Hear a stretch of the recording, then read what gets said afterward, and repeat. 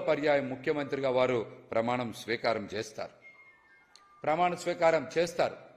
జగన్ గారు ఒక్కరుగానే పోటీ చేస్తూ ఉన్నారు. కాబట్టే కాబట్టే అడవికి రాజు సింహం.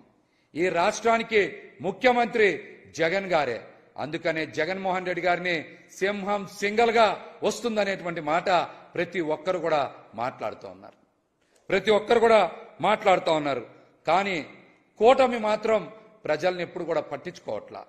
ఎత్తుల్ని పొత్తుల్ని జిత్తుల్ని నమ్ముకొని ప్రజల్ని మర్చిపోయారు కాబట్టే కూటమిని ప్రజలు కూడా మర్చిపోబోతా ఉన్నారు.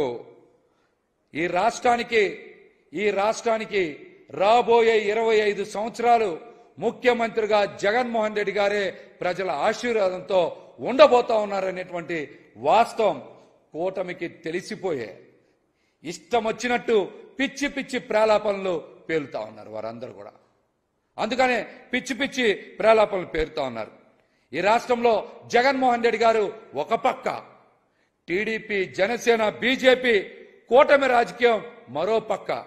అందుకనే కూటమి రాజకీయాన్ని కుమ్మొక్క రాజకీయం అని ప్రజలందరూ కూడా అంటా ఉన్నారు. కూటమి రాజకీయాన్ని కుమ్మక్క రాజకీయం అంటా ఉన్నారు అందరూ కూడా ప్రజలందరూ కూడా.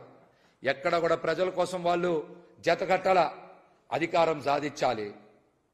భూములు కొట్టేయాలి లక్షల కోట్లు సంపాదించాలి అనేటువంటి ఒక దుర్మార్గపు ఆలోచనతోనే టీడీపీ జనసేన బీజేపీ జతకట్టాయన్నటువంటి వాస్తవం ఈరోజు రాష్ట్ర ప్రజలందరూ కూడా అర్థమైపోయింది. మనం కూడా చూసాం